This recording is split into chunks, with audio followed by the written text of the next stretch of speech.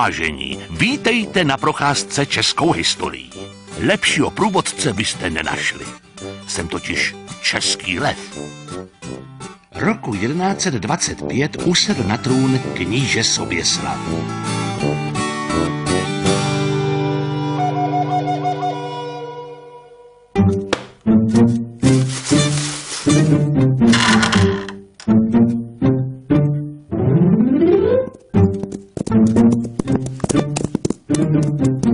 Vida, příbuzní z Moravy. Koruna patří mně. Koukej mi ji okamžitě odevzdat, bratránku. Můžeš si jít stěžovat. Taky, že si budu stěžovat. Rovnou jedu k císaři Lotharovi. že ho zdravím, bratránku.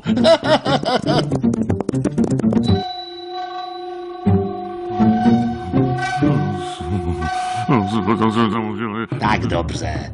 Společně Soběslavovi vyprášíme košich. Nějak moc si vyskakuje. A vezmeme to s kratkou přes Krušné hory.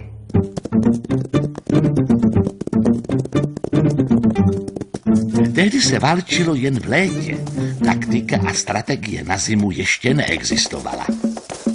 Lothar a Ota se pokusili Soběslava překvapit.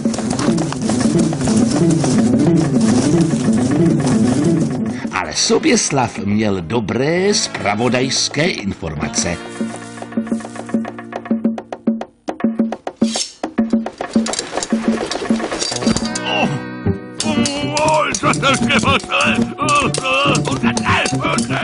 Bitva u Chlumce pod Krušnými horami bylo dosud největší vítězství Čechů nad Němci. Císaři, nepopřávej sluchu žalobníčkům. Podívej, jak tenhle dopadl. Soběslave, navždy dobrý. Císař Lothar a kníže Soběslav pak společně vybojovali nejednu slavnou bitvu, ale mimo válčení se kníže věnoval i stavbám hradů, kostelů a klášterů, nyní již výhradně z kamene.